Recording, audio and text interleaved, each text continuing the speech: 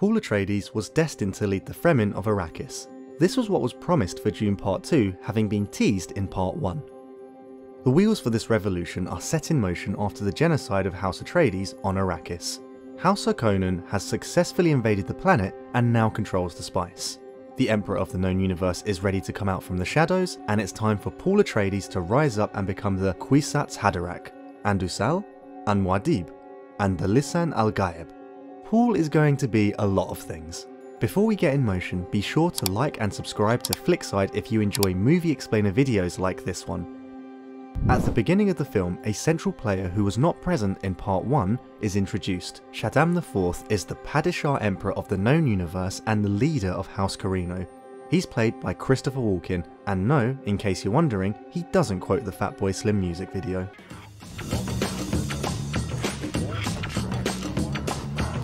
He resides on his paradise planet of Corrin with daughter Princess Irulan. Irulan was a narrating voice for the key events and backstories of the book. Although she's late to the party, she fulfills those duties by vocally documenting and relaying to the audience the preceding events. Better part 2 than never. As the Emperor of the known universe, Shaddam gets to make the most crucial decisions. These include which house gets to mine the spice of Arrakis, and which house gets to genocide that house. So when he learns of House Harkonnen slaughtering and occupying House Atreides on Arrakis, the Emperor puts on his best poker face in front of his daughter. Meanwhile, Paul and his mother Jessica have been taken in by the Fremen tribe Sietch Tabr as refugees. Although the tribe is not too keen on outsiders coming into their collective, despite having defeated the Fremen warrior Jamis in a proposed duel at the end of Dune 1 and defeating some pursuing Harkonnens from the start of the movie, Paul and Jessica have a ways to go before they've proven that they can stay among the Fremen. Finding potential in both of them is Stilgar, a leader within the Fremen warrior ranks known as the Fedaykin. It's only by appealing to Stilgar's spiritual belief in a messiah that Paul and Jessica will hope to find refuge and revenge. The first act of the film reveals a lot about the Fremen in terms of their history, customs, rituals and religion. Water holds a special place for the people who live among the dry dunes of Arrakis, but to varying degrees. After defeating some pursuing Harkonnens early in the film, the Fremen drain water from the bodies of soldiers before feeding them to the sandworms. As Stilgar tells Paul and Jessica, this water is too contaminated to drink, but is ideal for being used as coolant. They don't seem to care too much for Jessica's puke water though. When the body of the deceased Jamis is returned to the mountain home of the Sietch Tabr tribe, his water is also drained, but for a different purpose. The water from the body of Fremen is considered sacred and placed within the special pool that acts as a cemetery. When Stilgar explains this to Jessica, she sheds a tear, which Stilgar catches and stresses that tears shouldn't be wasted on the dead. Water is that sacred, which is why Stilgar eats the tear, which is both fitting for his words and very weird. With the only alternative being death in the desert, Paul and Jessica take note of the Fremen ways. While Paul asserts himself as one of the Fedaykin, Jessica undertakes the process of becoming a priestess, which involves Jessica consuming the water of life. Although it looks like an expired Jones soda, it's actually worm juice that allows for transcendence and clearer visions of the future. In other words, it gets you really, really high. Much like Jones soda, however, the water of life is essentially poison and causes birth defects, like death. Luckily, Jessica's training as a Bene Gesserit allows her to mitigate the poison, her unborn child only comes down with a case of early sentience and political tact.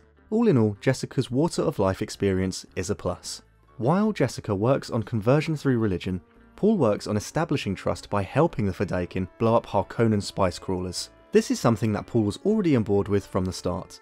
These missions give Paul the chance to better form a romance with Chani, played by Zendaya, and further impress Stilgar, who is hoping that Paul will be the messiah of his people, the Lisan al-Gaib, it doesn't take too much to convince Stilgar, however, as something as small as wanting to be named after a desert kangaroo mouse is seen as wise and brave.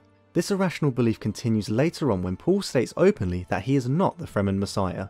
Stilgar believes that this is a sign that Paul is indeed the Messiah, because that's only something a humble Messiah would say.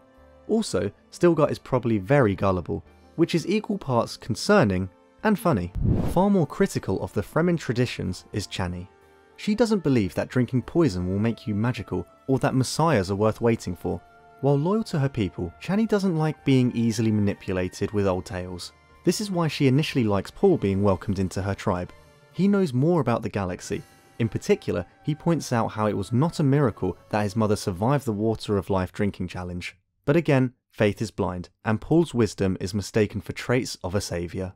Chani's role is expanded from the book, where she was more of a love interest. While she still has feelings for Paul in part 2, she worries about the future. Paul's visions of a darker future get worse when he tries to fight back as well. When Jessica tries to explain to Paul that they're giving the Fremen hope, Paul angrily shouts back that it's not hope. That's because it seems like a lie. If all you have to do to become a revered Fremen is ride a sandworm like you're water skiing, it doesn't seem like it takes much convincing. Maybe it'd be more of a miracle if riding the worm triggered Hans Zimmer guitar lace score. Or Fatboy Slim.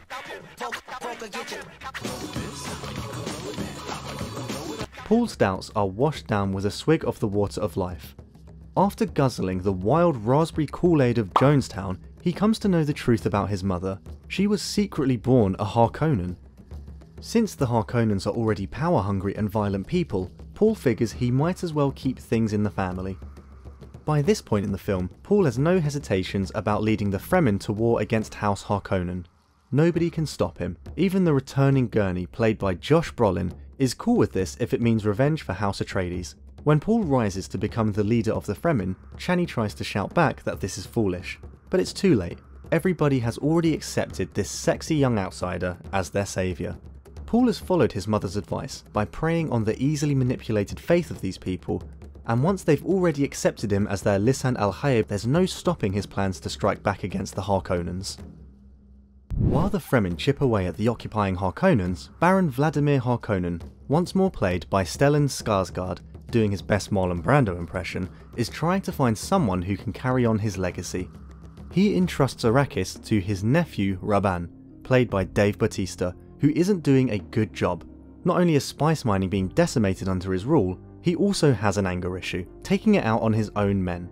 With Rabban failing, Vladimir decides to turn ownership of Arrakis to his younger nephew, Feyd, played by Austin Butler, doing his best Stellan Skarsgård impression.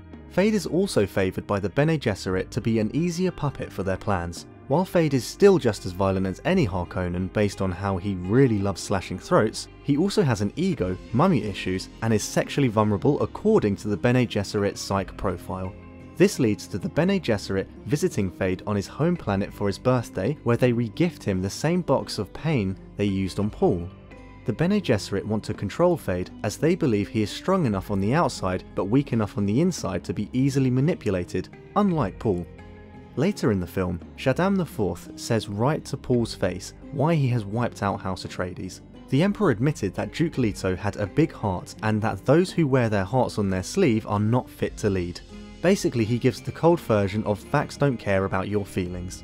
But the facts are not on the Emperor's side, considering that Paul's command of the Fremen successfully wipes out the Harkonnens and then holds the planet hostage with nukes until the other houses back off the land of sand. Paul is able to successfully steal the throne from the Emperor of the known universe by force.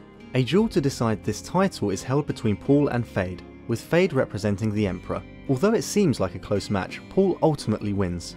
But at what cost? By the time Paul makes Feyd's life fade to black, Paul's cold nature of seeking power fades in. When attaining the throne from Shaddam, Princess Irulan begs that Paul spares her father's life in exchange for her hand in marriage. The fact that he can do this trumps his feelings for Chani. This cold-hearted nature of Paul is foretold not just in his visions, but how the film is staged. Consider the opening scene where the Harkonnens burn up the bodies of the slaughtered house of Atreides. A similar scene occurs in the climax where the Fremens torch the bodies of the slain Harkonnens. This cyclical nature seems more prominent after the reveal that Jessica is the daughter of the Baron, leading Paul to view himself as Harkonnen and just as capable of their cruelty.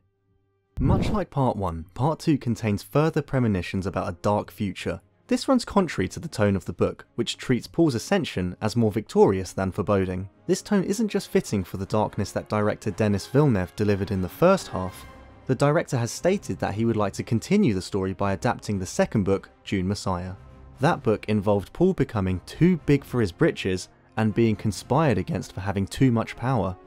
Chani in the context of the film is getting tremors of that soon to come tale. She can see the writing on the wall and more or less prepares to assert herself for the war to come. Paul's ultimate jihad on the other houses is not treated like a victory for the Fremen of Arrakis, but a terrifying warning of what is to come. Dune 2 brings a strong end to the first Dune novel. It doesn't just prove that director Denis Villeneuve can handle adapting Frank Herbert's revered writing, it also proves he's ready and willing to go further with the material. With the stage set for Dune Messiah, it'll be exciting to see what he does with the first theatrical adaptation of the second Dune book. There was a time where it seemed adapting the first book was an impossible task.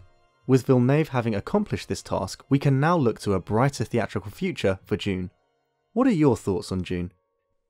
If you enjoyed this video, like and subscribe to Flickside, and for an in-depth explainer on part 1, check out the link in the description below. Let us know which other movies you'd like us to break down for you in the comments. See you in the next video.